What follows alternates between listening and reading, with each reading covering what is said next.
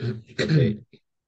Good morning and good evening, um, all the participant participant uh, of the ICC. Today we are so happy to have the Professor Tong Xi here be with us. Uh, we are so honored and our pleasure to have Professor Xi to share his uh, experience in dealing with the patient with the malocclusion and uh, to show his experience uh, with the advancement technique and how to cooperate with in between the orthodontics and uh, the surgeon. And by beside, I will introduce uh, today our moderator, the prior. So I will give the time to more to, to prayer for the moderating. Thank you, prayer. Please go ahead. Okay, um, today is my honor to see all of you again, ICC member. Uh, my name is Pat, and today I will be the co-moderator with Dr. P.Y. Chou and Dr. Junior Tu. Uh, we have a distinguished international speaker from the Netherlands, Dr. Tong Xi, to give us the presentation today. And before we start the session, I would like to introduce the panelists of this session. Um, the first panelist, Dr. Bawan Kong Noi, uh, a surgeon and a medical doctor. He received the German and Thai boards of oral and maxillofacial surgery. He specialized in the jaw reconstruction, OSA, and orthodontic surgery. He worked as uh, assistant professor at Mahidol University, Bangkok, Thailand. And the second panelist, Dr. Yufang Liao, uh, the chairs of Graduate Institutes of Dental and Craniofacial Science. Chang Gung University and a professor at Departments of Craniofacial Orthodontics, Chang Gung Memorial Hospital, Taiwan. She treated more than 200 cases this year using computing assisted orthodontic surgery. Her special interests are in orthodontic surgery, cleft and sleep apnea. And uh, I would like to introduce uh, the speaker, Dr. Tong Xi, to everyone. Dr. Tong Xi is an oral maxillofacial uh, surgeon at the Departments of oral maxillofacial surgery at Radboud University Medical Center in Nijmegen, the Netherlands. As the team lead for the orthodontic team, he has specialized expertise in the treatments of uh, congenital and acquired dental facial deformity with a primary focus on orthodontic surgery and facial recontouring. In the Netherlands, Dr. Xi has been a pioneer in the development and uh, implementation of digital workflow in orthodontic surgery for over 15 years. Annually, he contributes to the successful treatment of more than 200 orthodontic cases. Beyond his clinical commitments, Dr. Xi also coordinates numerous uh, national and international research projects and to develop validate and implement cutting-edge 3D imaging technologies, digital workflow, and artificial intelligence algorithm in the fields of orthodontic surgery. Through collaboration efforts with orthodontists, he has introduced new orthodontic surgical technique as well as treatment principle to daily clinical practice. These innovations aim to minimize the overall durations of treatment and enhance the predictabilities of treatment outcome. Over the years, Dr. Xi had made uh, significant academic contribution, authoring over 90 peer review papers in various national and international journals. Furthermore, he had been an invited lecturer at numerous international conference, webinar, and academic courses, actively contribute to the post-academic education in the fields of orthodontic surgery. And now it's time for uh, Dr. Tong Xi presentation. Welcome, Dr. Tong Xi. It's our honor to have you today. yeah, good afternoon and good evening, uh, yeah, my friends and dear colleagues. Um, I think it's really an honor to be invited to contribute to the ICC forum. Um, yeah, I think the Chang Gung Memorial Hospital has always been a center of excellence in the craniofacial surgery, and it's really a privilege for me to share my knowledge, I think, with all of you and with everyone who's attending this ICC. And very thank you very much, uh, Dr. Chou and uh, Prior, for your invitation and all the preparations and your kind words. Well, I start up my presentation. Um, um,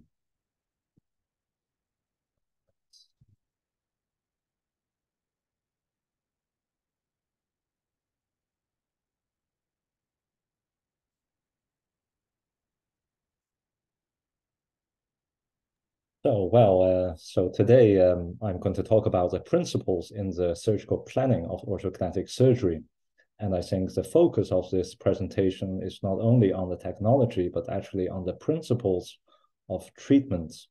And um, this cannot be done by myself alone. I'm always doing this with my um, orthodontist who are working really closely with me. So I think it's really about the collaboration between orthodontics and about with the surgeon in order to achieve uh, uh, optimal and predictable results. Um, well, um, I work at the Department of Oral Maxillofacial Surgery of the Radboud University Medical Center in Netherlands.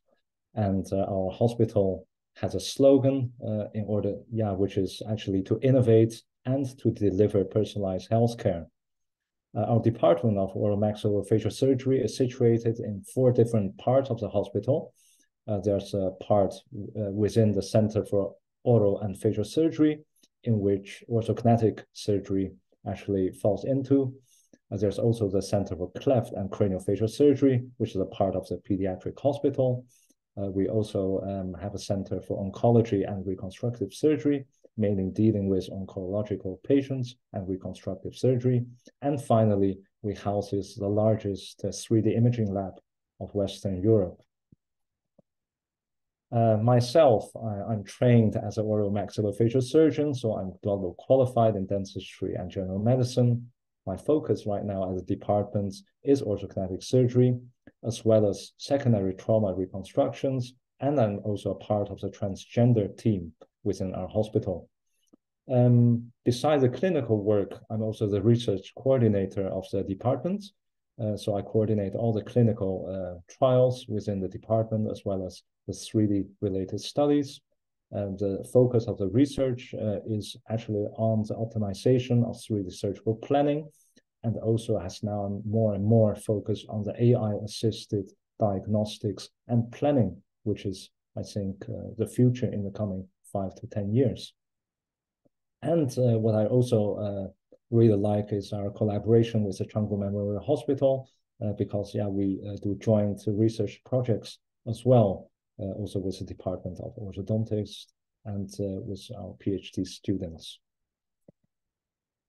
Well, um, if you talk about uh, principles in uh, orthognathic planning, I think there are three major um, parts which I would like to focus on today. Uh, in the first part of my presentation, which is about 10 to 15 minutes, I'll be talking about the transition from the traditional 2D cephalometric based planning to the 3D soft tissue driven planning, how this transition has been in, in our departments. The second part, which is the largest part of my presentation, will be on the contemporary workflow in orthognathic surgery, focusing on different stages of the treatment. And the last part, which I will only just highlight, is the future of orthognathic surgery or the philosophy which we are now adopting within our center. And it is, uh, yeah, with the slogan, less is more, one day diagnostics, one stage surgery. Uh, well, let's focus first on the part one, the transition from the traditional 2D cephalometry to 3D soft tissue driven planning. Uh, surgery uh, is actually was focusing on all different kind of severe malocclusions, which cannot be corrected by orthodontics alone. So all these different kind of uh, severe malocclusions that cannot be treated by orthodontics alone are being referred to the surgeons to be treated surgically. The focus of orthognathic surgery was to establish a stable class one occlusion.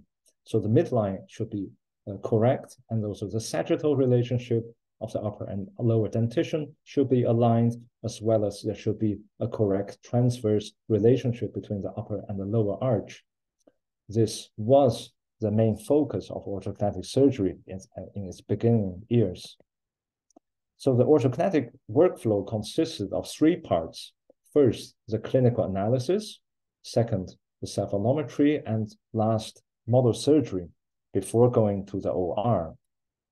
According to the traditional clinical analysis, uh, we used to look at the facial height ratio and also to look at the sagittal facial ratio, which can be uh, classified to anti-face, straight face, and retroface according to the Frankfurt plane and different um, reference lines. So this is how we used to analyze the patients in the clinic about 20 years ago at our departments. Um, uh, in addition to the clinical examination of the orthognathic patients, we also take lateral cephalograms. And on these cephalograms, we identify different uh, anatomical landmarks upon which we can perform all different kinds of orthognathic analysis. The mostly used ones at our departments were the Steiner analysis, the Wits analysis, the Downs analysis, and the McNamara analysis. These were all uh, measurements that had to be performed prior to surgery. And uh, when looking at these different cephalometric values, the goal of surgery was just to normalize these abnormal values, which is really the focus of surgery. In order to um, do predictions in a traditional way, the predictor tracings were actually being performed by using these lateral cephalograms. Um, we kind of uh, wanted to simulate where the soft tissue would end up and we uh, use different ratio, the hard tissue, soft tissue, mainly anterior, posterior uh, direction ratios to uh, simulate where the nose, the upper lip, lower lip, and the chin will end up after jaw displacements. So uh, the traditional way at our department of analyzing the nose was to use the pronasale as a, a landmark. And if the incisor is being uh, advanced by 10 millimeters, the pronasale will probably only go forward by two millimeters, and there will be a little bit of vertical um, yeah, cranial movements of the nose tip as well. And the same we do to the upper lip and the lower lip. And uh, all these different ratios are just based on normative values, which uh, were calculated in a very small group of patients, mainly Caucasian patients. Um, in the 70s, 80s, and 90s, many, many researchers have been focusing on these different ratios. Uh, the more I look at these ratios, the more puzzled I really get because, yeah, which one should you actually choose and how reliable are these? Uh, those were quite, I think, uh, valid questions at that time. And uh, after uh, looking at the cephalograms, we also used to do facebow registrations and also make plaster casts by using the facebow registration, we put these classic casts into the model articulators, which are based on average values of the Bennett angle as well as occlusal slope. Uh, as dysgnathic patients, they are dysgnathic, so they were they are not normal. So that's why these kind of model surgery uh, are, in my view, not accurate to predict how the jaws should be positioned. And based on this model surgery, we used to make acrylic um, splints uh, ourselves so that we can use them during surgery. Uh, there was always um, the controversy of uh, how to achieve a stable class one occlusion and also at the same time to achieve uh, acceptable uh, facial profile. Sometimes so uh, yeah, we, we had to always to compromise uh, either the occlusion or the aesthetics using the traditional planning. So this is an example of a 16-year-old girl who attended our department about 20 years ago. Uh, she uh, actually just wanted to have a normal class one occlusion. Uh, so by just doing a BSS advancement, we could also, uh, well, uh, give her a better profile. But if you look at her profile closely, you do see uh, different suboptimal elements such as the chin position and the cervical uh, line, as well as I think the asymmetry, which you also can notice in the frontal view. But at that time, we were more and more focused on the occlusion rather than on the soft tissue results. So we uh, regarded these results as very acceptable. Uh, at that time, I think 80% of orthognathic surgery was just a BSSO or the for one uh, osteotomy, the so-called monomax. And I think only 20% of surgery was a bimax surgery, which was really able to change the profile of the patients. With the technological advancements uh, which were emerging, I think, after the millennium, especially on 3D imaging, uh, our department, um, yeah, housed the first 3D lab, I think, in the Netherlands. So in 2006, uh, we um, acquired the first 3D MD photo stereo photogrammetry so that we can capture the, the skin texture of the patient in 3D. At the same time, we also acquired the first generation i-CAT CBCT scanner so that we can also capture the skeletal um, uh, structure of the patient in a very fast and efficient way. And finally, we used to use uh, radio opaque impression materials to take impression of the upper and lower jaw simultaneously so that we can also scan these uh, impressions to digitalize the dentition. And by using uh, various uh, fusion models, uh, we could in 2006 already um, render these kind of 3D augmented head models, which are composed of skin texture, um, detailed 3D view of the skeletal tissue, as well as the dentition. Uh, the second uh, part, which really fueled the transition from 2D to 3D, is actually uh, three great uh, professors which worked together at our departments. So Professor Bergé was the head of department, and he came to our department in 2006, and he was the initiator of the 3D lab. At the same time, the head of department of orthodontics, Professor Annemarie Kuijpers-Jagtman, also uh, collaborated with our department to make the 3D planning possible. And the last contributor was, of course, uh, Dr. Gwen Swennen from uh, Bruges in Belgium. And uh, with three professors, we formed the 3D facial imaging research group Nijmegen Bruges in 2006, which is the foundation of the transition from a 2D to 3D. This research group provided uh, scientific evidence um, for the value of the 3D planning in its uh, yeah earlier days.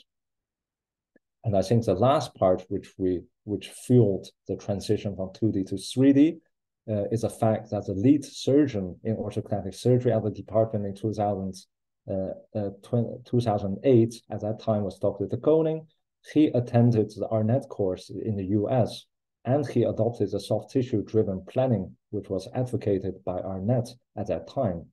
So by having these technological advancements in 3D imaging, the establishment of a 3D lab and a research group at our department in 2006, and the adoption of the principles of the soft tissue-based surgical planning, all these three factors made it possible for us to implement 3D planning in Nijmegen in routine patients, uh, uh, yeah, in patient care in, from 2008 onwards. So from 2008 onwards, all bimaxillary osteotomies in Nijmegen were planned in 3D in the virtual uh, environment. And so I guess uh, at that time, we were one of the early adapters, uh, definitely, I think, in Europe. Well, uh, having looked at the history of this transition from 2D to 3D, uh, let's take a detailed look at the contemporary workflow in orthognathic surgery. Um, when we treat an orthognathic patient, um, the, the whole workflow um, consists of five different steps. The first steps is uh, to see the patient in a multidisciplinary consultation.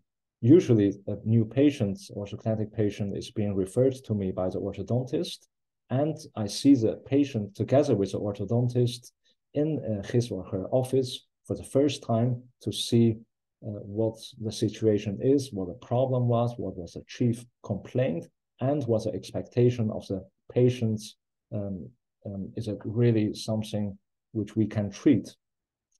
The second uh, step is actually to establish a pre-surgical orthodontics plan and to carry out the pre-surgical orthodontics aimed to decompensate the dental arches and to level the dental arches after the pre-surgical orthodontics, um, um, then we go to the third step, which consists of the pre-operative documentation and the 3D virtual surgical planning. And after having made the virtual surgical planning, we then carry it out in the OR in form of different kind of orthognathic surgery. And the last part is the post-operative orthodontics to refine the interdigitation and to evaluate the result of surgery to see whether it is concordant with a 3D virtual surgical planning. And these five steps, um, I will yeah, describe them in details. So um, the first part is a multidisciplinary consultation with the orthodontist. During this consultation, we look at the face of the patient very uh, closely. Uh, we look at five different elements. So we look at the facial symmetry, the facial harmony, the facial characteristics, the state of the dentition, and also the occlusion, as well as the patient's own perception of the problem. Um, and in many cases, if there is a kind of asymmetry, and if the patient really tells us that asymmetry is progressive, um, I think it's really important to quantify the condylar growth at this stage. The traditional way of quantifying the condylar growth is by making a bone scintigraphy by using 99M technetium scans. And by uh, intravenously um, giving the patients the 99 technetium, they are being uptaked by the condyles if there is any kind of condylar growth. And after uh, several hours of, up, of uptake, um, a SPECT scan will be made. And on these SPECT scans, quantitative measurements will be made. The, the hotspots will be found in the condylar region, and we measure how dark uh, these hotspots are. If there's more than 10% of difference in activity between the left and the right side, we can conclude that there is a significant uh, difference in condylar growth.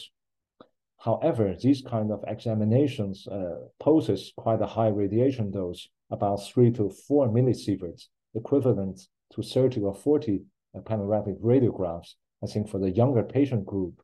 And this is a clear disadvantage. And also the SPECT scan also takes uh, several hours to perform. Uh, which is uh, quite a time-consuming examination. Um, but however, uh, we have to um, address the problem of progressive mandibular asymmetry if the patient who, comes to our office says that he or she sees that the mandibular asymmetry is becoming more and more severe throughout the years. So the first question we have to answer is, is there an active condylar growth? If the answer is yes, um, high condylectomy can be performed to um, to stop the condylar hyperactivity on the right side. If there is no active condylar growth, we can then continue with the orthognathic treatments.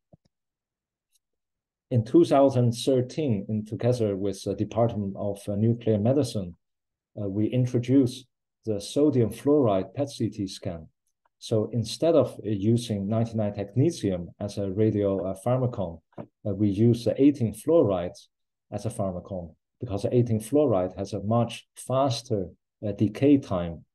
And because of the faster decay time and also the intrinsic properties of the emission uh, of the gamma rays, uh, there is a two to three times increase in the resolution of these images and we can combine these images with a PET-CT scan so that we can have a clear 3D view of where the hyperactivity of the condyle is located. In comparison to the SPECT scan, uh, sodium fluoride PET-CT is much less time consuming because the incubation time is only 30 to 60 minutes, and it halves the radiation dose, which is especially very advantageous for these younger patients.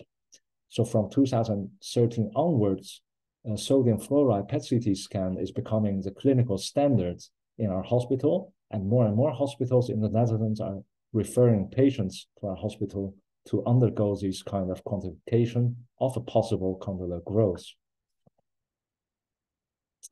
If uh, one condyle is uh, clinically growing uh, faster than the other one, and it's also radiologically uh, proven that there is a form of condylar hyperactivity, then we perform a high condylectomy, um, especially uh, in growing young patients. So with uh, through a very limited preauricular incision through the tragus, we um, um, gain uh, access to the condylar area. And by using very small incisions, um, and also by using piezo um, surgery, we can remove the cranial five to six millimeters of the condylar uh, surface to halt the condylar growth. And afterwards, we suture the skin uh, very carefully so that uh, nearly no scarring actually happens after these kind of high condylectomies. By performing the high condylectomies um, in an early stage, uh, we see in our clinic that many patients who had progressive mandibular asymmetric growth, uh, they tend to grow uh, normally and no secondary surgery is required in more than half of these patients. So we think it's very beneficial uh, to look at the progression of mandibular asymmetric, asymmetric growth at the early stage. Well, uh, let's now focus on the pre-surgical orthodontics, because I think in the second stage, uh, we have to establish a pre-surgical orthodontic plan. And it is at this stage that we have to create the decompensated and congruent dental arches because the majority of our patients, I think 70 to 80% of our patients is class two patients. So although we do uh, adopt surgery first protocol, in many, many cases of class two patients, it's just very difficult uh, to do surgery first, um, yeah, protocol. And that's why uh, in majority of the patients, we do the pre-surgical orthodontics first. Uh, it is at this stage that we try to use orthodontics to facilitate the surgical jaw movements and to in order to enhance the facial profile. So we do not only concentrate on the dental arches, but we use the facial profile as a backwards driven planning for the pre-surgical orthodontics. One of the key questions in this stage is at this stage is to extract or not to extract premolars, especially if there is crowding and especially if there's class two jaw deformity, which requires a certain amount of pre-surgical overjet. So um, nowadays, uh, whether or not to extract is really being determined by these two factors, and more and more emphasis is being put on the second factor, the amount of required pre-surgical overjet, which is then determined by itself uh, by the desired facial profile. These are two examples of class 2 patients uh, with horizontal uh, growth pattern and a vertical growth pattern. Uh, although the chin is retruded in uh, both of these patients, uh, we can see that their facial their facial contour and the jaw contour and the soft tissue contour are completely different. Um, in the clinic, we um, examine these patients in their natural head position, and we use the true vertical line as proposed by Arnett to see how the upper lip, how the lower lip, and how the soft tissue chin are related to this true vertical line in order to determine the amount of mandibular advancement uh, that should be used to normalize these soft tissue values. Of course, we also take uh, the patient's um, desire into account. If the patient wants to have a more protruded chin, then we tend to uh, plan the, the surgery the surgical advancement more. Whereas if the patient wants a softened jawline, then we uh, plan less surgical advancements. But it is at the pre-surgical orthodontic stage that we are already determine the amount of uh, mandibular advancement that is required in order to achieve an optimal uh, soft tissue profile. Um, well, let's take a closer look in this case. And this is a young man, about 16 year old, uh, class 2-2 uh, malocclusion with a deep bite. If you look at the uh, reference line on the right side, you can see that advancement of the chin of the soft tissue pogonion of about six to seven millimeters is required in order to get a straight profile in this case, so that the patient has a one-third antiface, uh, which is really desired by the male patients. Um, we do perform a little bit of cephalometry. Uh, usually we measure the Arnett angle of the upper and lower incisor. And uh, from these Arnett angles, we can see that the lower incisors are being inclined properly, whereas the upper incisors, they have an excess in, in angle, which means that the inclination of the upper incisors can be optimized by giving them more inclination to the labial side. Uh, these are the occlusal views of the same patients. So in many of these class 2-2 patients, the upper incisors are being retroclined, uh, but just by proclining the upper incisors in this case, uh, we can see that we can already achieve about five to six millimeters of dental overjets. So in this case, no extraction is required in my view. This is another class two patients who has a vertical uh, growth pattern and also is hypodivergent and who has an anterior open bite and also lip incompetence. If you look at her uh, chin position from the soft tissue nasale, from the true vertical line, you see that the soft tissue pogonion should be advanced more than 10 millimeters in order to achieve a better facial profile. Uh, we have also measured the Arnett's angles in this case, and in her case, the upper incisors are inclined properly, whereas the lower incisors, as you can also see on the left cephal cephalograms, they are inclined too much to the labial side. And because the overjet is very small in this case, and because of the inclination of the lower incisors, we choose to extract two premolars in the lower jaw in order to decompensate the dental arch and in order to uh, create uh, more um, overjet so that we can advance the lower jaw to a more anterior position to optimize the facial profile. Uh, we also, um, if you look at these uh, models, uh, on the top row, you see the models of a class one uh, patient who has a stable occlusion. And in the bottom row, you see an example of a class two malocclusion.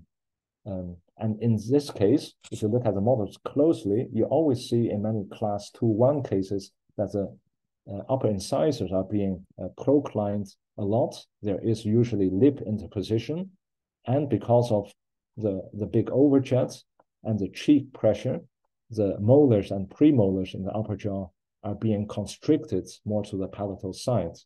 And so many, many of our class 2 patients have a transversely constricted upper arch in combination with proclination of the upper incisors and retro position of the lower dental arch. But besides the sagittal uh, um, deformity, in many, many of these class 2 patients which we treat also has a transverse deformity. And when they laugh or smile, the smile line is very narrow and this is characterized by the presence of the black buccal corridors. And these are uh, yeah, not so aesthetically pleasing if you want to achieve a very nice aesthetic dental smile line. And so the transverse uh, size of the upper jaw is also an issue in many of these patients. And this is uh, the same model of the class 2 patients. If we uh, advance the lower jaw to get rid of uh, the overjets, then something also happens in the transverse direction. If you look at closely at these models and at this uh, animation, you see if you advance the lower jaw in this kind of patients, you will create a transverse problem in the premolar area uh, of the patients. And so this is what we call an anticipated crossbite in class two patients. So when we see that the patients, a class two patient want to have a lot of lower jaw advancements, um, we have to take into account that extra expansion of the upper arch is required, not only aesthetically, but also for the stability of surgery. So how do we um, expand the upper jaw? Well, um, we know that from the uh, earlier studies that expansion orthodontically is one of the least stable movements. So uh, we tend to expand these post-adolescent patients skeletally by using the SARME technique, the surgically assisted rapid maxillary expansion. SARME can be performed under sedation or under general anesthesia. Um, it is a surgery which can be done within, I think, 20 minutes. But however, it does give a patient quite some facial swelling as well as post-operative pain. And SARME can be achieved by uh, using a tooth-borne distractor, a so-called Hyrax, which is being put into the upper arch by the orthodontist before surgery, or using a bone-borne distractor, a TPD. Um, the, the research at our department has shown that efficacy of both of these distractors are similar, but however, uh, in case of bone-borne distractors, we do have to take it out later on, which can be quite a yeah, horrible experience for the patient if you want to take it out on the local anesthesia. And we do see some infections of the bone-borne distractors in the palate. So if I can choose, uh, I would go for a Hyrax instead of a TPD. So the effect of the SARME, which we want to create, is the widening of the smile line to give uh, the smile line a positive curve and to, to actually aesthetically enhance the smile line to resolve the crowding problem in the upper jaw, especially if the patient already had two premolars extracted in the past. And by using SARME, we do see some increase of the dental show. In some patients, it can be beneficial, but in patients with gummy smile, um, this is not a very positive effect. So the patient should be informed beforehand. SARME also leads to a mild chin retrusion because the anterior part of the upper jaw is being placed more caudally, and we see some kind of alar widening uh, between two to four millimeters. So for patients with a narrow nose, SARME can be beneficial, but for someone who already has a very wide uh, nasal base, SARME uh, should be taken uh, with care, right? the decision of whether to do SARME or not. In recent research, we also see that by doing SARME, in one third of the patients, there will be recession of the central papilla, which is devastating for the dental smile line. And so for the patients with very high aesthetic demands, you have to take this aspect into account as well. And the patients who are older, who has a big a distance between the cervical uh, crestal bone and the contact point, and who has a very narrow and elongated uh, incisor crowns, as well as incisor overlap. These are the risk patients who are at risk of getting recession of the central papilla after surgery. Another aspect of the pre-surgical orthodontics is that if we have created an overjet uh, by aligning the dental arches properly, after surgical advancement, the last molar in the upper jaw will usually do not have any function, and therefore it will erupt very slowly, and sometimes it can cause pain problems in the cheek area of the patient during mastication.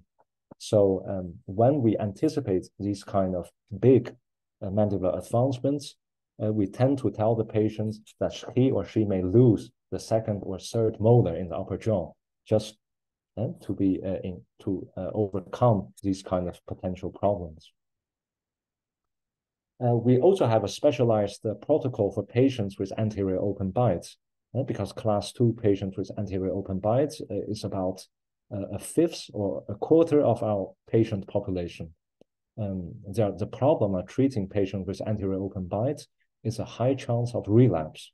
So uh, despite surgery and uh, proper orthodontic treatments, we see a relapse rate of about 20 to 25% in these patients.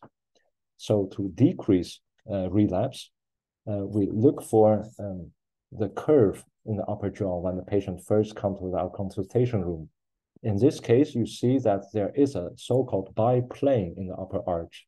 So the uh, lateral incisor to the lateral incisor are placed more cranially than the other parts of the jaw.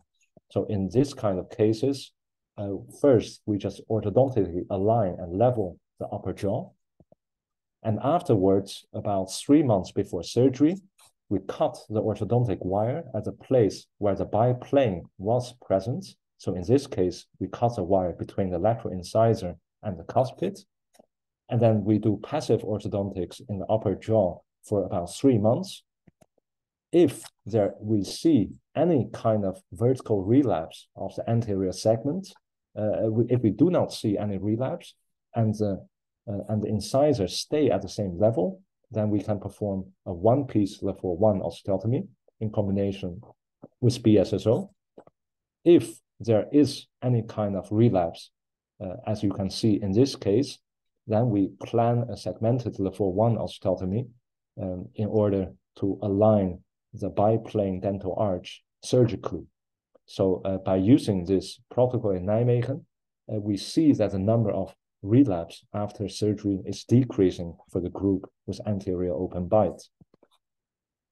So to sum up, in the pre-orthodontic uh, phase, uh, we have to consider uh, extractions, especially in the lower jaw or upper jaw, to facilitate jaw movements so that we can obtain an um, optimized uh, facial uh, profile after surgery. We should always be aware of the potential transverse discrepancy, especially in class two patients. And we should also anticipate the potential postoperative relapse, especially in case of anterior open bite, by um, indicating a segmented Le Fort one osteotomy uh, for the right patients. Now, let's uh, move on to the third uh, step, the preoperative documentation of these patients. So about uh, six months before the anticipated date of surgery, I see the patient once again at the office of the orthodontist just to check the execution of the pre-surgical orthodontics to see whether the planned um, uh, orthodontic overjet uh, is achieved and to see whether the inclination of the incisors and the transverse relationship are being uh, corrected properly. Uh, at this stage, we determine which kind of surgery we are going to do, and uh, we tell the patients when the surgery will be planned. About uh, two to four weeks before the planned surgery, the patient come to my office, to our outpatient clinic, to do the preoperative documentation, which consists of a clinical examination of the patient and uh, a very uh, long conversation uh, about the expectations of the patient and also about what I can achieve for the patient. To align the expectations, I think is very important before surgery uh, to increase the satisfaction of the patient afterwards. And after uh, having these uh, clinical measurements, we will go to the stage of the 3D virtual surgical planning, which I'll explain later on. So during, uh, at this stage, we will combine the information and the measurements of the soft tissue with that of the dentition in order to translate the clinical observations into a 3D virtual surgical plan, which is the goal of this stage. We examine the patients clinically in their natural head position, which is de defined as a physiological position of the head when both eyes are looking uh, horizontally at a distance focus point with the muscles relaxed. I think the second element, relaxed muscles, is very important uh, at this stage, especially if we want to do a soft tissue driven planning. The soft tissue should be documented when all the muscles are being relaxed. You should prevent any form of lip or mental straining, um, which are usually uh, present uh, in class two uh, patients, especially those with anterior open bite. So if you look at the, the pre-scan on the right side, I do see some form of lip straining. So this is, in my view, unacceptable. I instruct the patient to relax, and then now you see a very big difference uh, in how the lip uh, shape is actually changing uh, from a strained shape to a more relaxed shape. And this is really um, uh, important for soft tissue driven 3D planning. Um, um, we can uh, perform a lot of different measurements of the uh, at my office, but into order to increase the, the time efficiency of the consultation and to increase the reproducibility and the relevance of these uh, taking these measurements, I only uh, measure four items. They are the vertical position of the maxilla, the left-right positioning of the maxilla, the occlusal cant, and the facial asymmetry. So first, uh, I um, let the patient stand in front of me in natural head position with the lips uh, very relaxed. I measure the dental show at rest, so the distance between the upper lip and the incisal edge. And um, afterwards, I tell a good joke to the patient so that the patient smiles spontaneously. And at this stage, I see what is a dental show when the patient is laughing and smiling and I take this measurement as well. Afterwards, I measure the midline of the upper dentition in relation to the soft tissue nasion or the facial midline. This is the second measurement which I note down. And then I look at the occlusal cant in relation to the bipupillar line. In case that the bipupillar line is not horizontal, I look at um, the occlusal cant or the height difference between the cusp of the left uh, uh, cuspid and the cusp of the right cuspid in the vertical direction. So the vertical difference in cusp uh, height of the left and right cuspid will be noted as well.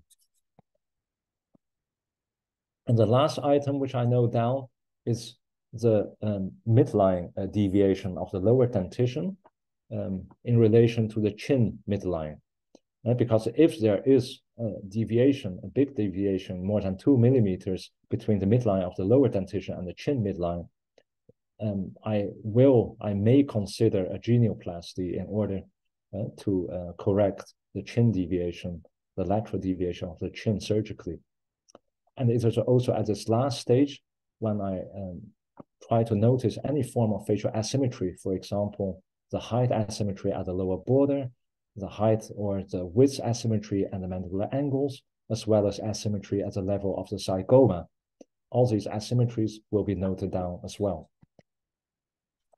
So to sum up, um, the clinical measurements which I have taken will determine the, the vertical position of the maxilla, the transverse position of the maxilla, as well as the roll rotation of the maxilla. By taking clinical photographs and CBCT, the AP uh, movement of the maxilla, the pitch of the bimax complex, uh, as well as the yaw, will be determined during the stage of the virtual surgical planning. So only so the clinical measurements will only help me uh, in half of the movements which I will be planning for the maxilla. Um, after clinical examination, patient will undergo 3D stereophotogrammetry, intraoral scanning, as well as CBCT. First, the intraoral scan will be fused with the CBCT and soft tissue will be rendered. And afterwards, the 3D stereophotogrammetry will be uh, fused onto the soft tissue envelope of the CBCT to create a photorealistic virtual head model.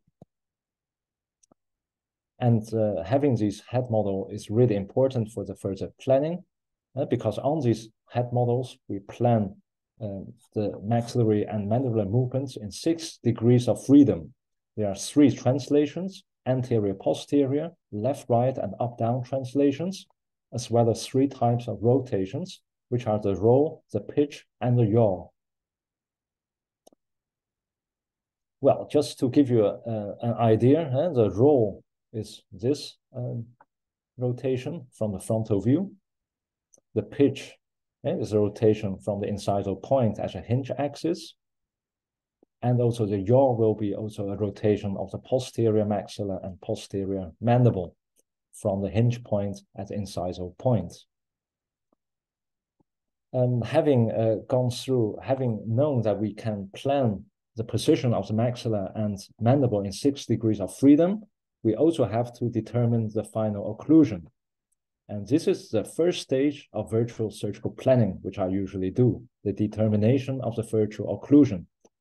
I find it very important to have the function in the software so that we can determine the virtual occlusion in a, a virtual way. So I do not use any models.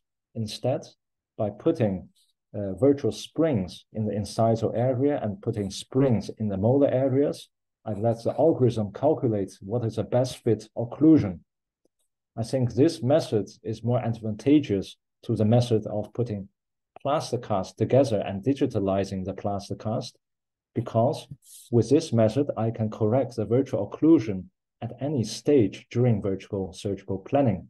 Sometimes I see that because of occlusion, the lower jaw is being deviated to a certain side by changing the occlusion, I can minimize these undesired mandibular or maxillary movements. So I think uh, you should always be able to change the virtual occlusion during the, uh, the surgical planning. Um, okay, so this is uh, the importance of virtual occlusion. Uh, first, I determine the left-right translation of the uh, of the maxilla. And this is be being determined by the clinical measurements which I take. So I align the midline of the maxilla with a nasion, the soft tissue nasion of the face to correct the, any asymmetry in the transverse direction.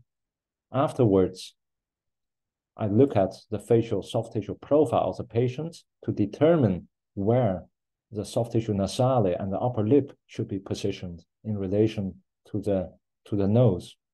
And I look at the nasolabial angle, and the soft tissue angle, as well as the protrusion of the upper lip.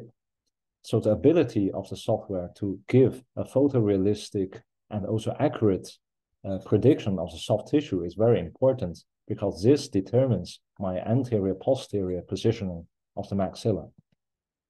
And afterwards, I position the maxilla vertically in the right way uh, by making sure that the post-operative dental show will be about two to four millimeters, or according to the wish of the patient. Some patients want to have more dental show, then I tend to move the maxilla more caudally. Some patients want to have less dental show, then I try to uh, impact the maxilla more cranially. After setting the three translations, I correct now the three rotations. By using uh, the roll correction, I can correct the occlusal cant, but you should always consider the height of the lower border because sometimes, as in this case, correction of the occlusal cant can deteriorate the lower border height difference between the left and right side. Afterwards, I change the pitch of the bimaxillary complex in such a way that the chin projection will be correct in relation. And then I usually look at the soft tissue pogonion. And lastly, I use the yaw correction to uh, reduce flaring, uh, especially in case of class two anterior um, um, mandibular movement. And I can correct the posterior asymmetry of the lower jaw. When I perform a chin osteotomy virtually, I also look at the angle at which the chin osteotomy should be uh, virtually um, planned. In case that I only want a chin advancement, uh, I will plan a low angle chin osteotomy. Whereas if I also want to shorten the height of the chin, I tend to plan a more high angle chin osteotomy so the chin will move anteriorly and also cranially. After making the planning, uh, we have to perform surgery uh, uh, because this lecture is more about principles and not about surgical techniques. Uh, I'll mainly talk about the sequence of surgery. And there has been a lot of debate on this topic to either do a maxilla first surgery or mandible first surgery if we look at literature, then we see in 1978, uh, uh, the American Steinhauser said, yeah, there's a new uh, surgical sequence that's called a mandible first. Uh, so he proposed you should do mandible first in order to obtain more accurate results. And 20 years later, uh, Larry Wolford also said the same. Uh, do not do maxilla first, you should do more and more mandible first surgery because it improves your surgical accuracy and also predictability and stability of the results.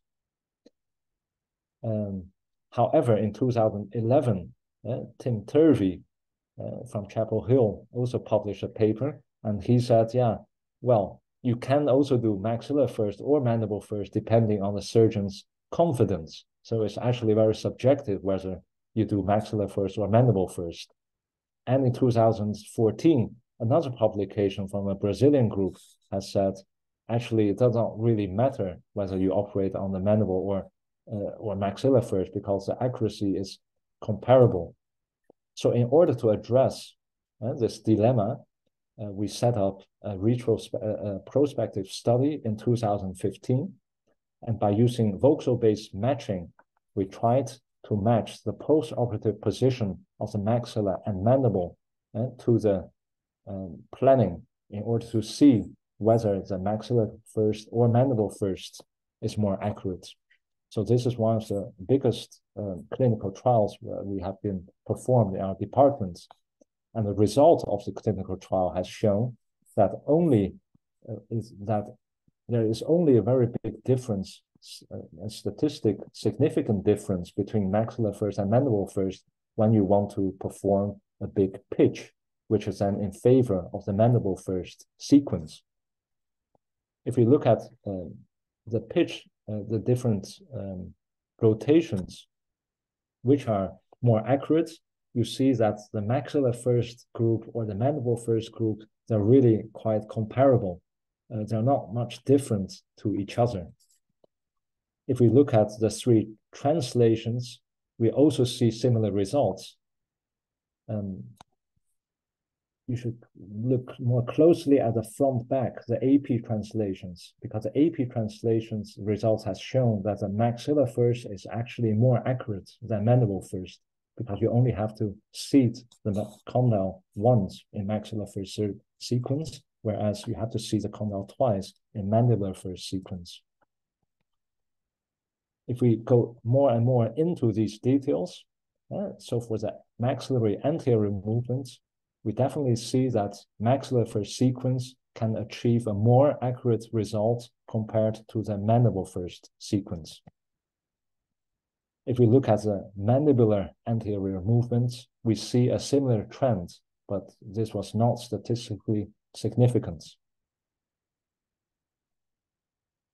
Considering the pitch, which is very important to determine the chin position, we see if we plan a clockwise pitch, then in mandible first sequence, uh, it is we can achieve this planned pitch more accurately.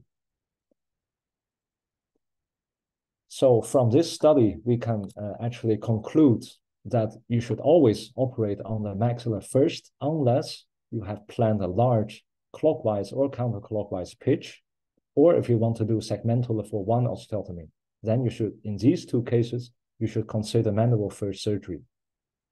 And more and more, um, our research results are being appreciated. For example, in the last Madrid conference, a European conference for oral maxillofacial surgery, uh, our study was quoted many times in keynote lectures, and even Arnett, who advocated always a mandible first sequence, uh, actually uh, said to me, "Yeah, well, uh, I think yeah, you've done a good job, and uh, I'm changing slowly." So um, so I think uh, we can conclude that you should operate on the maxilla first. And the last part, which I would like to discuss, is a post-operative evaluation. In order to improve our own surgical skills and to improve the draft of the surgical plan, we should systematically evaluate whether we have performed surgery according to the 3D planning. And this is what we have been doing since 2013, already for 10 years we've been gathering um, data uh, in every surgery which we have performed.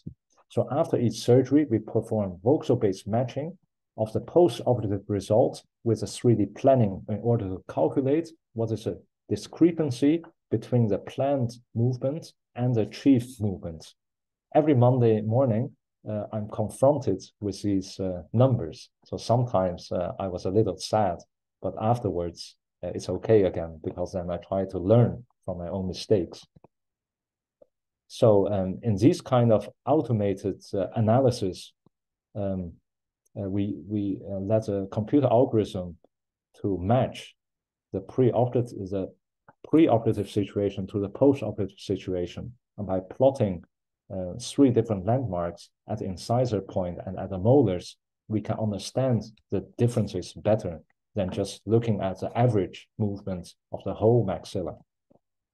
So for example, uh, in this patient case, the analysis will tells us that in the left-right um, um, uh, situation, that uh, I have not, uh, I have, there, there has been a planned movement of 1.0 millimeter to the left.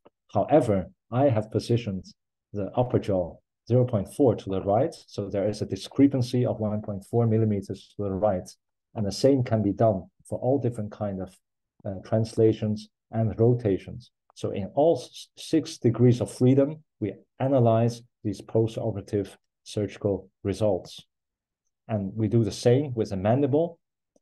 And in this way, um, we have built up a very big database so that now we are using AI to see whether we can predict in which cases uh, we will be uh, able to operate the patients accurately and in which cases we should be aware of. Um, I would like to conclude my uh, presentation with one uh, case report.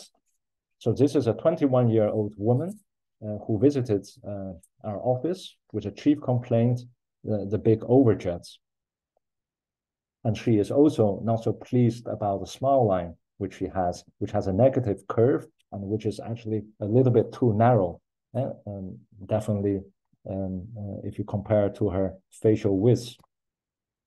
And this is a dental situation. There's a class two uh, malocclusion, and there is a kind of midline asymmetry of the lower uh, dentition to the right because she's missing a 3-6. So there has been some uh, compensation going on in the dental arches, and there is a very big uh, overjet. And this is the OPG. Yeah, so this is her dental situation. And we have also uh, made digitalized models to see um, the transverse uh, dimension.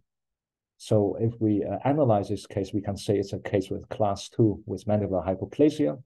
We see that there is a deep curve of Spee and also asym asymmetry in the dental arch. So we uh, decide to extract the 3-5 uh, so that we can level the curve and we can resolve the dental asymmetry. Uh, there is mandibular hypoplasia, which uh, needed a BSSO advancement and there's crowding of the upper jaw and also a very narrow upper jaw. So um, we decided to do a SARME. So this is uh, the SARME operation which we uh, performed by using a Hyrax, a tooth-borne distractor.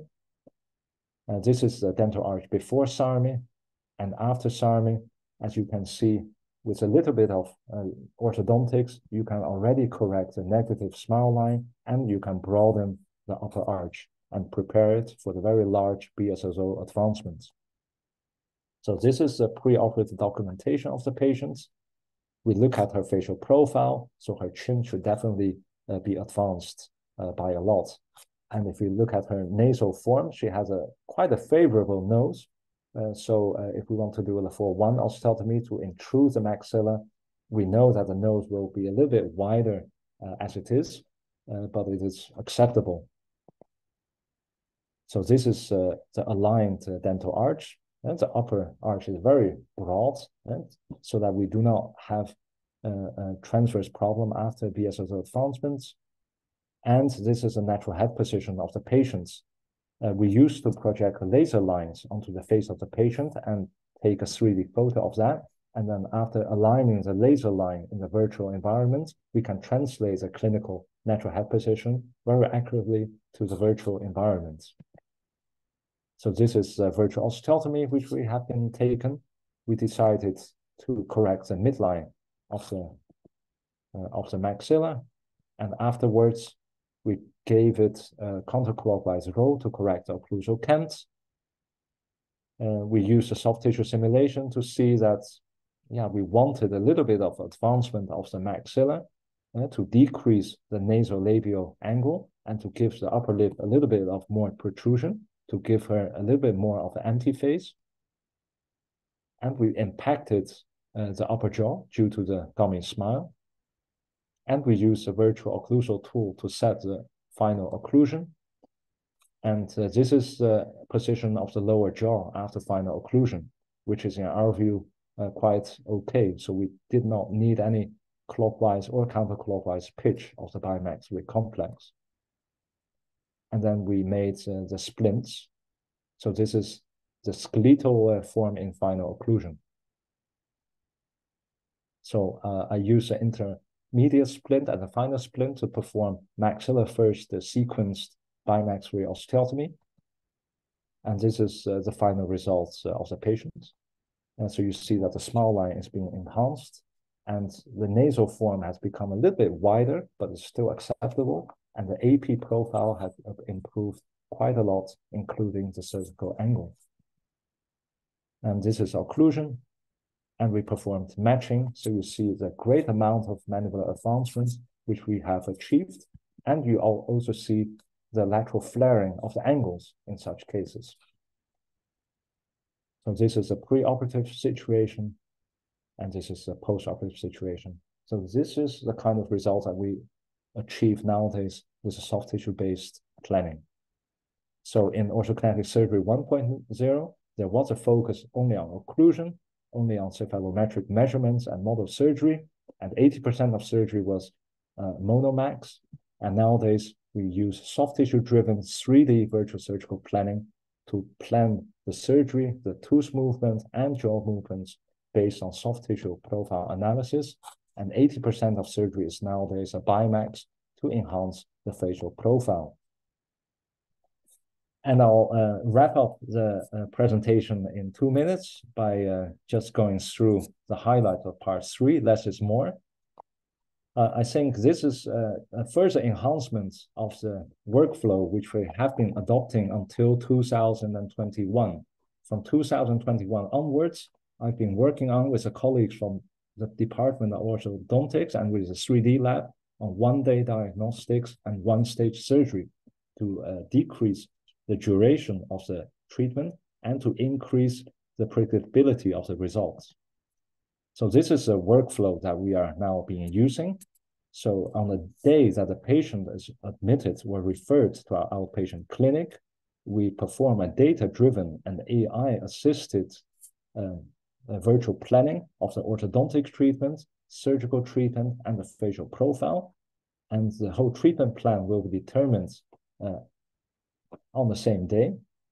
And by uh, grouping surgeries such as condylectomy, combining it with BIMAX, with genioplasty, with contour corrections, with soft tissue corrections such as lipofilling, and also the use of implants, uh, we try to do one-stage surgery. So instead of SARMing and, and BIMAX, we now uh, combine all surgery into one surgery by using navigation or by using uh, surgical templates. And in this way, we hope that uh, in a few years' time, uh, I can present uh, this new way of surgery in front of you. And this is one of the papers we have been working on, the AI-driven 3D soft tissue planning. And I think this is the future that orthognathic surgery is going. Uh, at the end of this uh, presentation, I would like to uh, thank uh, Professor Scholz and Dr. Roveras from our Department of Orthodontics and our head of department, Professor Stefaan Bergé, and my dear colleague, orthognathic surgeon, Jeroen Liebregts, who have done a lot of research with me. And of course, the help of 3D Lab from Professor Thomas Maal, and also the chief engineer, Frank Baan, which is also helping the research uh, with Chang Gung Memorial Hospital. And I would like to uh, thank you all for your time and attention at this hour. I thank you very much for your attention.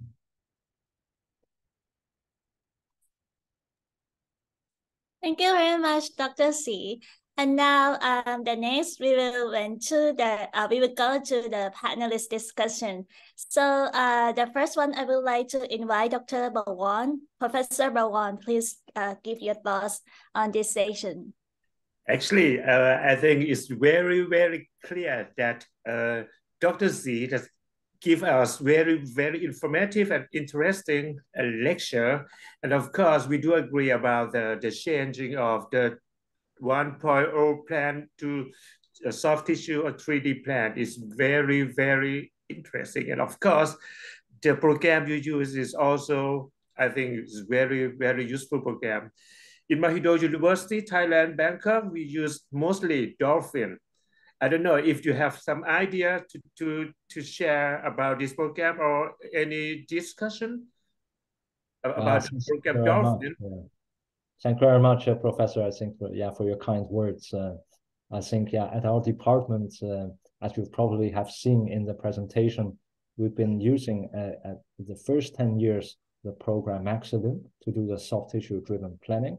And from 2016 onwards, we're using the IPS case designer from the KLS Martin company, uh, in which we also uh, did a, a, part of the validation of the software at its early stages. Um, I've been uh, uh, trying Dolphin out. I think Dolphin is a very powerful tool, which actually has more, much more functionalities than the IPS case designer that I've been using.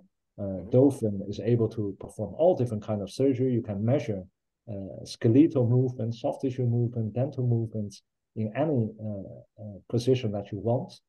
Um, I think that the difference in Dolphin software and IPS software, which I'm using, is mainly the soft tissue simulation. Uh, I think that's a major difference. uh, because um, our workflow is highly dependent on the soft tissue profile of the patient, and that is desired post-operatively. We need a software that can simulate the soft tissue movements very accurately. Uh, we've been performing with Denmark universities from the Odense University with Dr. Stokbro research on the accuracy of, den of dolphin versus uh, IPS case designer in soft tissue um, simulation. and I, think several researchers have also focused on this topic. And uh, at least for the class two patients, it seems that IPS case design has a little bit more accuracy in the soft tissue planning than Dolphin.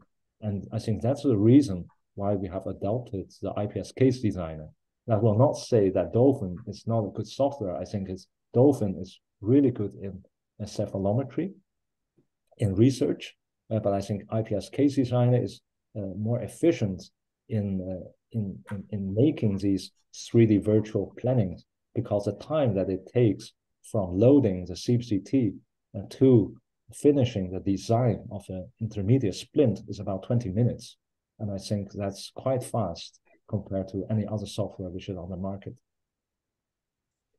Thanks a lot for your answer. Uh, Dr. Black, could I ask one more question or let uh, other uh, panelists, or maybe the other panelists first, please? Or okay. other colleagues, please. Uh, the next one, I would like to invite uh, Dr. Liao, um, Professor Liao. Could you please share, open the camera and share your screen uh, and, and, and talk to us? Thank you. Hello, Dr. Xi, nice to see you. I was learn a lot from your lecture. I have three questions for you. The first, regarding the soft tissue based planning, what kind of soft tissue analysis do you use?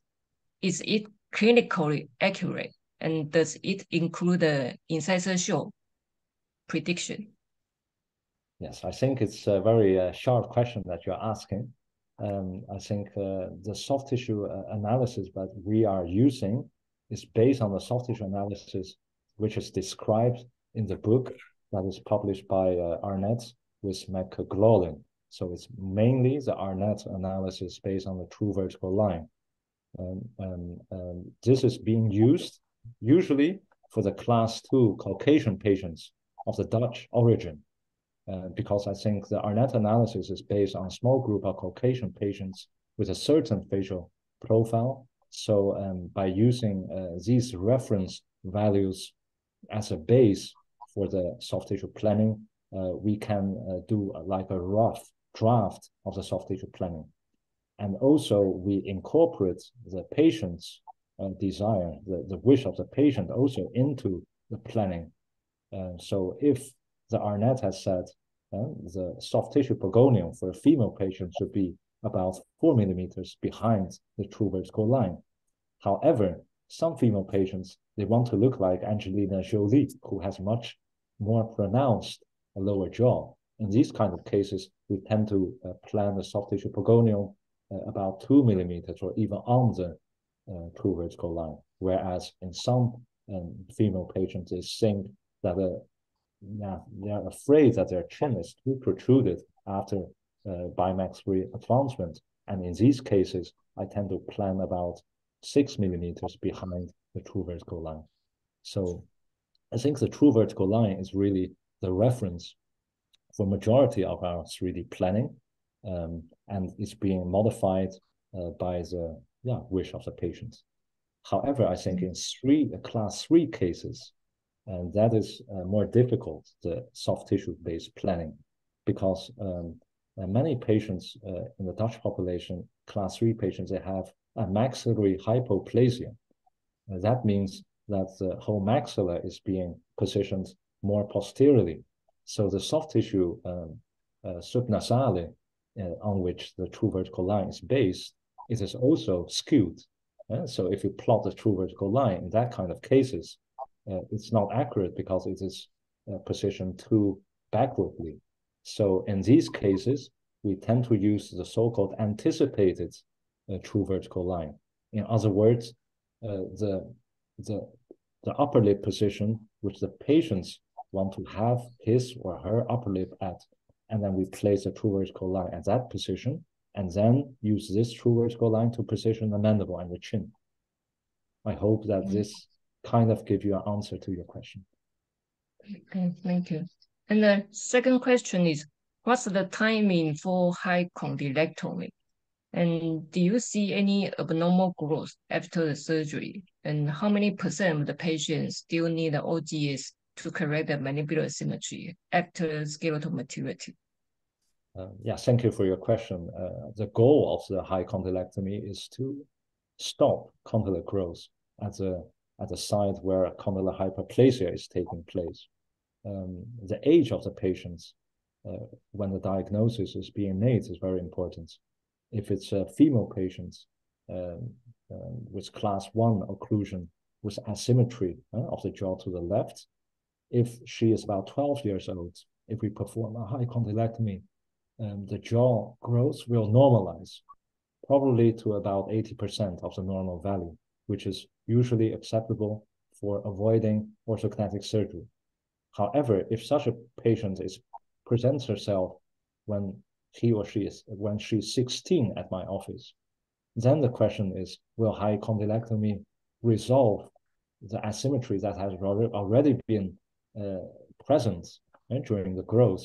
I think when uh, the patient is 16 in female patients, in half of the cases, orthognathic surgery still has to be done.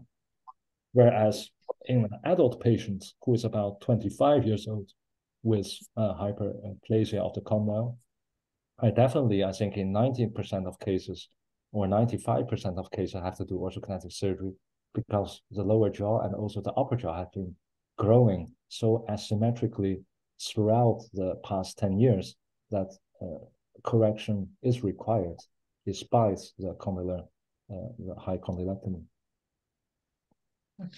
And the third question is, what are the indication of SARME and the segmental Le Fort one for transverse discrepancy? Yes, um, I think um, uh, in my hands, if I perform a Le Fort one osteotomy uh, in in segment uh, either in two piece, three piece, or four piece, to expand the the lateral parts of the maxilla, uh, I I feel a lot of pressure of the of the soft tissue or from the palate or from the cheek afterwards, pushing these segments back to its uh, to their normal position.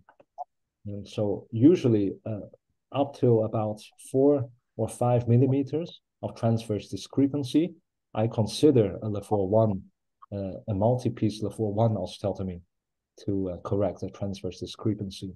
If the discrepancy is more than five or six millimeters, I tend to use a SARME or uh, nowadays a MARPE uh, instead of SARME, so a mini screw assisted uh, rapid um, expansion uh, to do these kind of expansions. Because I find that surgical expansion is less stable in the post uh, surgical period.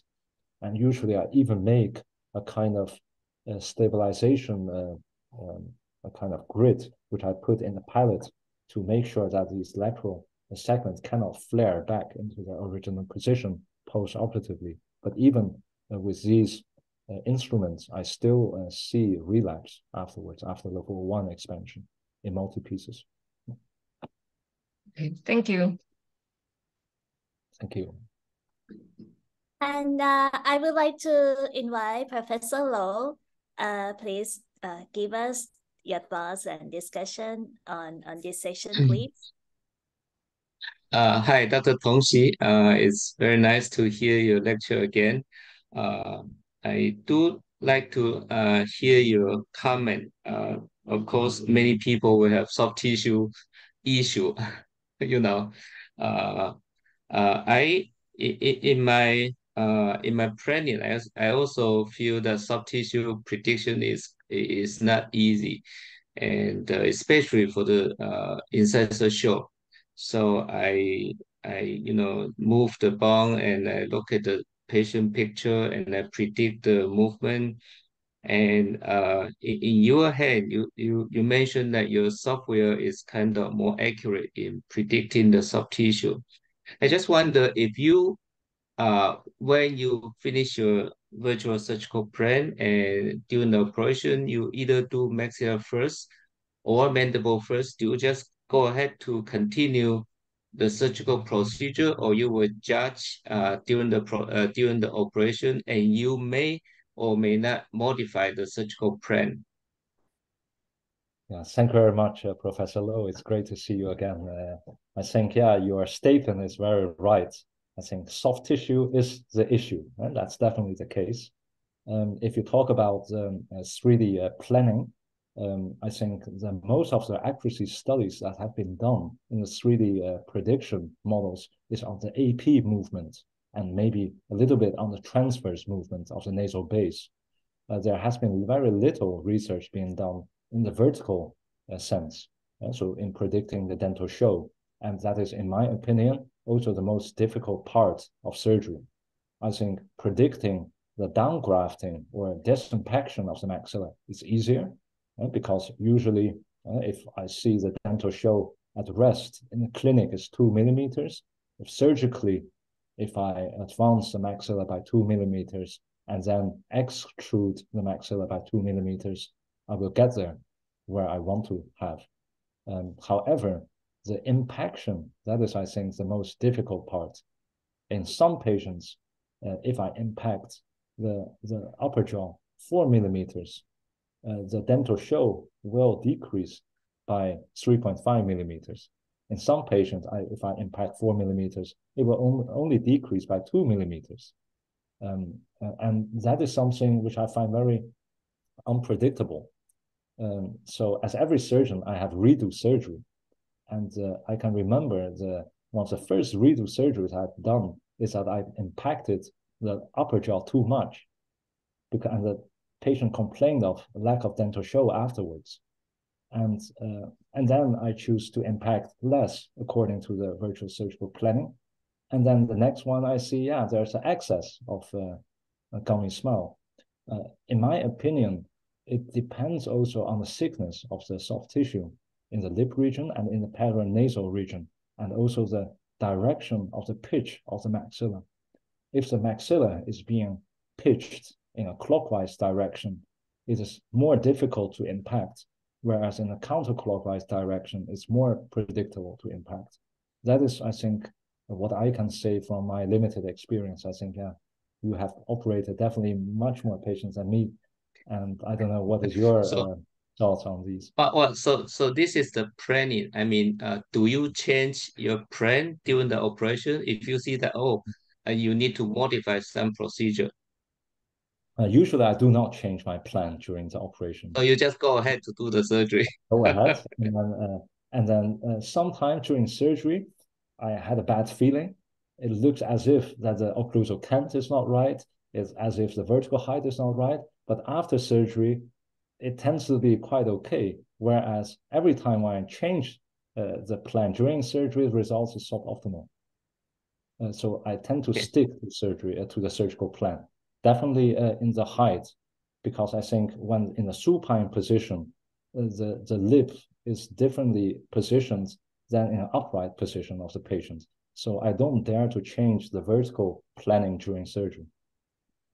Okay, okay thank you. Uh, the second issue that I always have, and I, I, I actually I don't have the correct uh, answer, is that uh, how to position the, the dental midline, uh, especially for patient with credit palate deformity.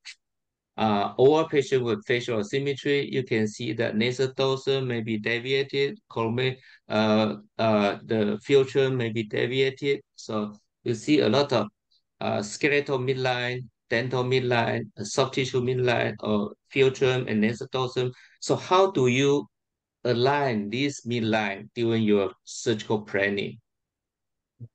Uh, I uh, agree to you completely in this, uh, I think, on, on this matter, because um, in asymmetry patients, uh, what I usually uh, look for is whether there is a harmonious asymmetry or uh, a less harmonious asymmetry or less harmonious asymmetry. because sometimes, um, yeah, if you categorize these asymmetric patients, you can see a group of harmonious asymmetric patients. What do I say harmonious? Every part, uh, the, the nose, the philtrum, the, the upper jaw, lower jaw, chin is asymmetrical, but the face looks attractive. You don't tend to see a lot of asymmetry. And you see some patients which you see asymmetry immediately. And then I always wonder, why do you see some asymmetry you regard it as um, less aesthetically a problem as another asymmetry? I think it has to do uh, Uh, with the height of the orbit and also the height of the lower border.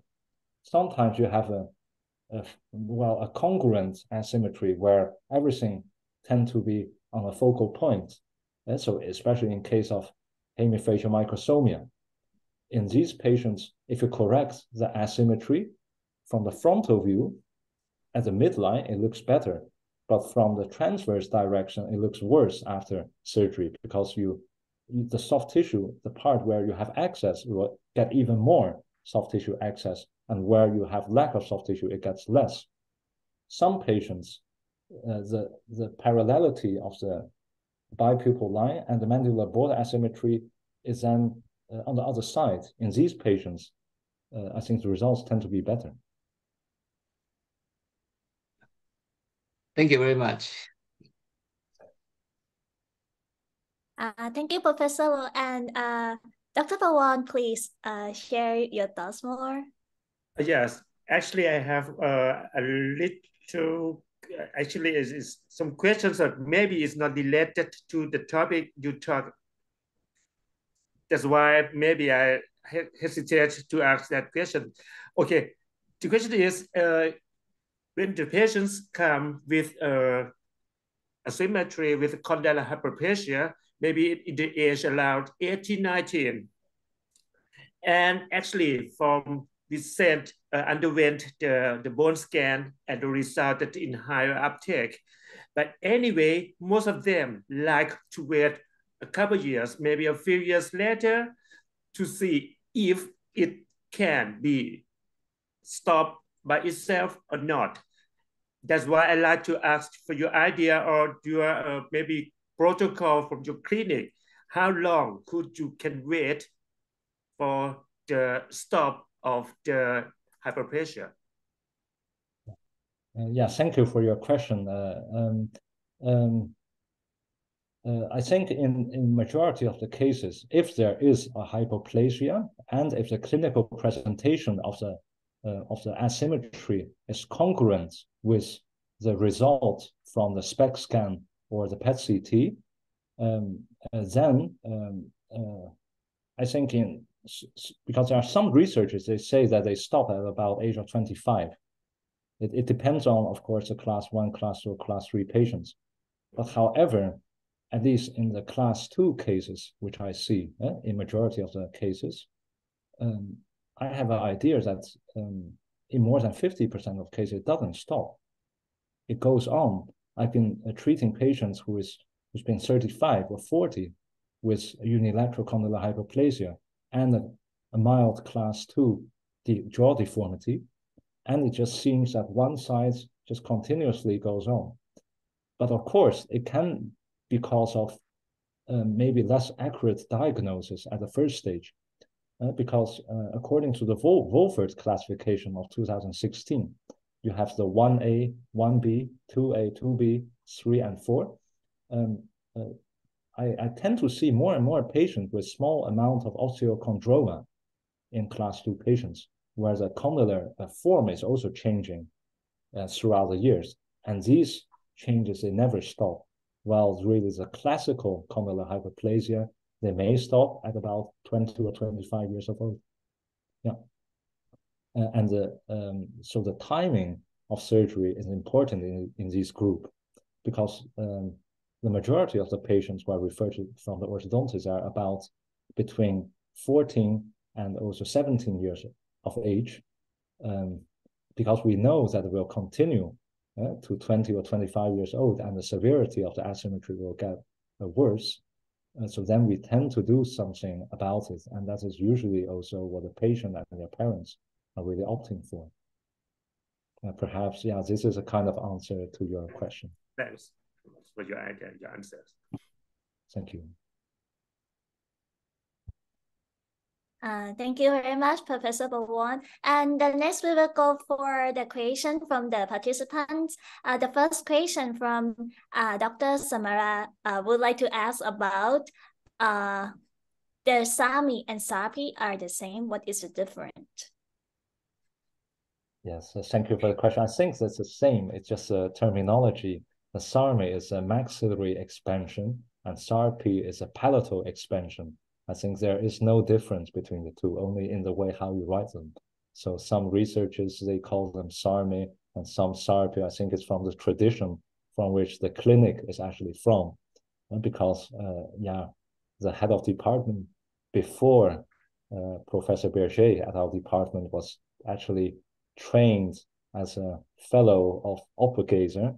We tend to use uh, his term in our department more but it's really from the historic point of view. Okay, and uh, thank you for, for answering. And the next question uh, from Dr. J.H.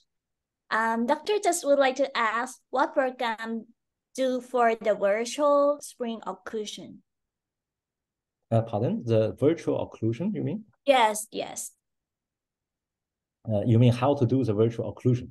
uh what the program i think maybe uh this yes, doctor would like to the ask virtual yeah. occlusion by yeah. uh, in the ips case designer we do the virtual mm -hmm. occlusion so it has a virtual occlusion tool and um, as i shown in the animation you have to put uh, three or more springs at the right place and there is definitely a learning curve in doing that so um, uh, i started doing virtual occlusion in 2008 at that time every time i have to have plaster cast next to me. Then I look at where are the contact points, and then I see, ah, I have to put a spring from here to there, here to there, here to there. And after one year doing a lot of planning as a resident, then I find out, oh yeah, and now I try without the plaster cast.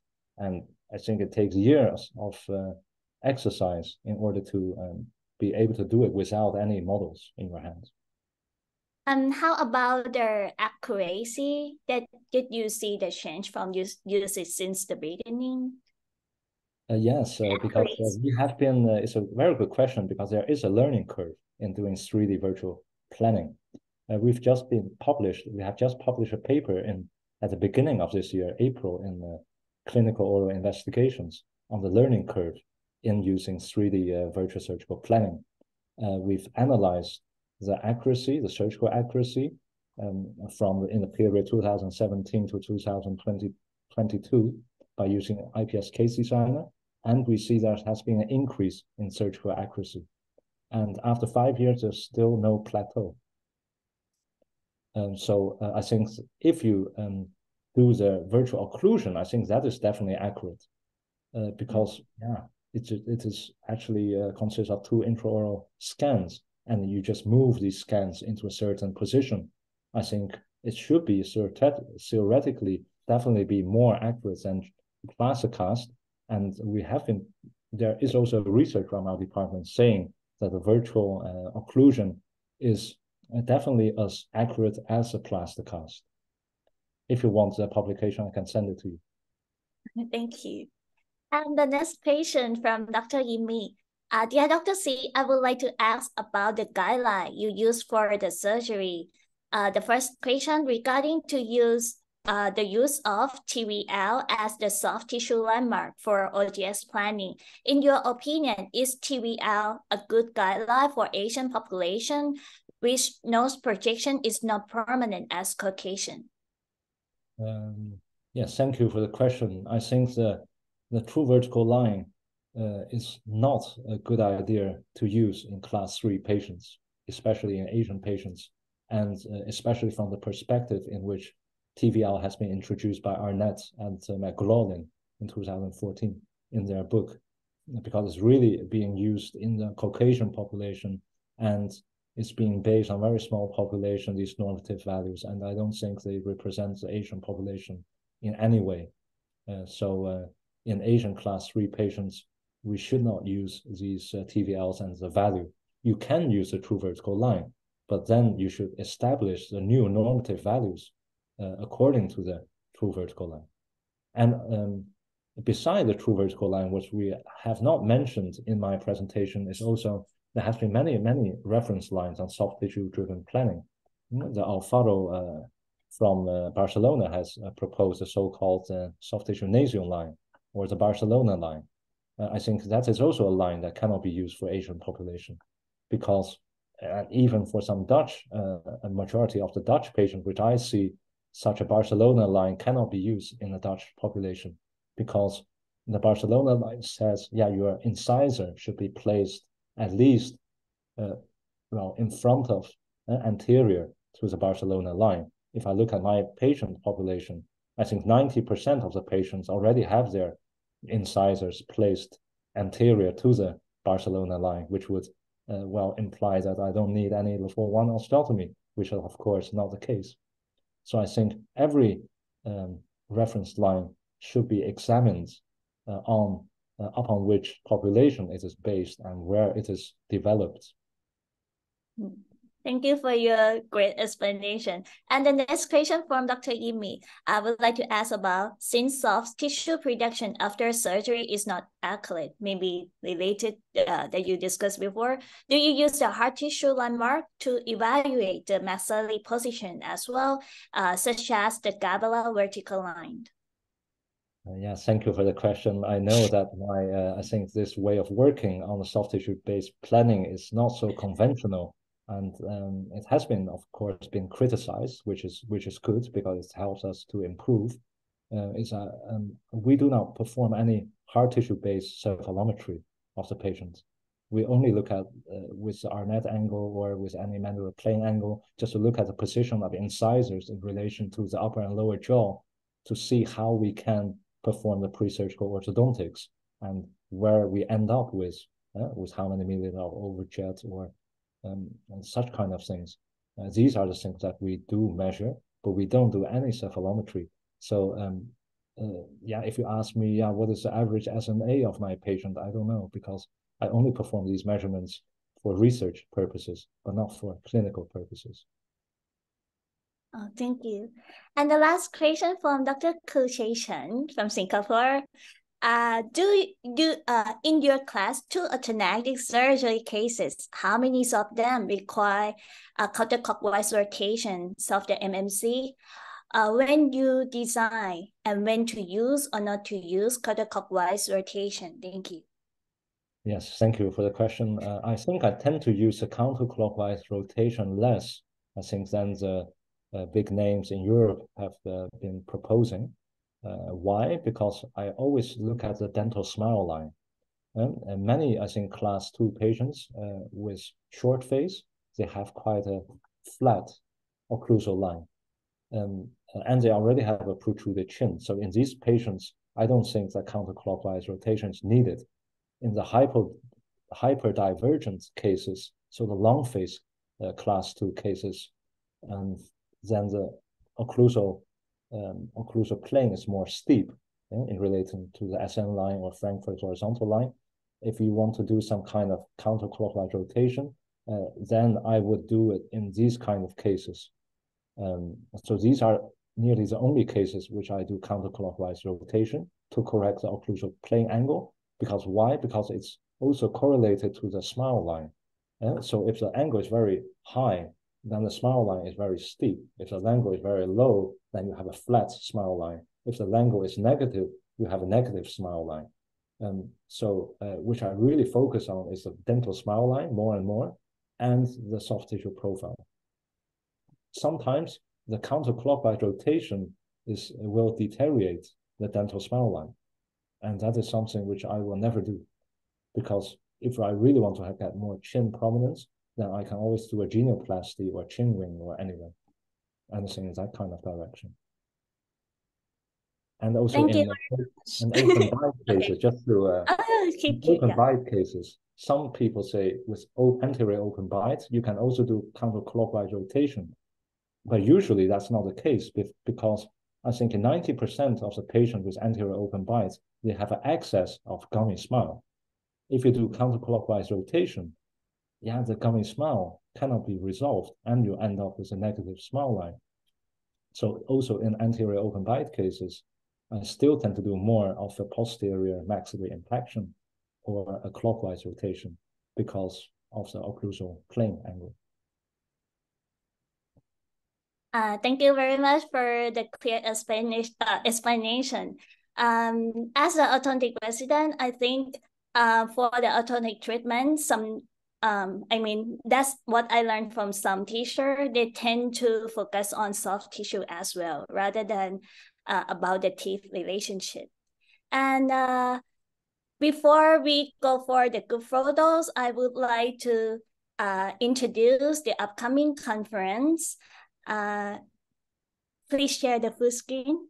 Thank you. Um, we're gonna have the Chang Gung Forum will be on November 6 to 8 uh, in Taipei, Taiwan this year.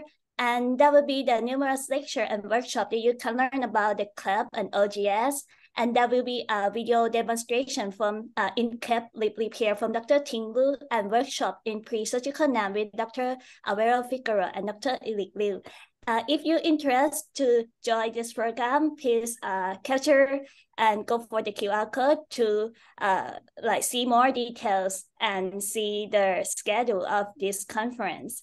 And the another upcoming conference uh, in sleep apnea, uh, it will be in Bangkok in December this year, the fourth Asian Societies of Sleep Medicine 2023 um, there will be a workshop in CBT, uh, in CBT and also lecture and presentation from in international speaker. And Professor Yu Fang Liao will give the lecture at this conference. And uh, I would like to invite Dr. Ai to uh, introduce us about this conference, please. Oh. oh. Hello, everybody. Uh, uh, uh, nice to uh,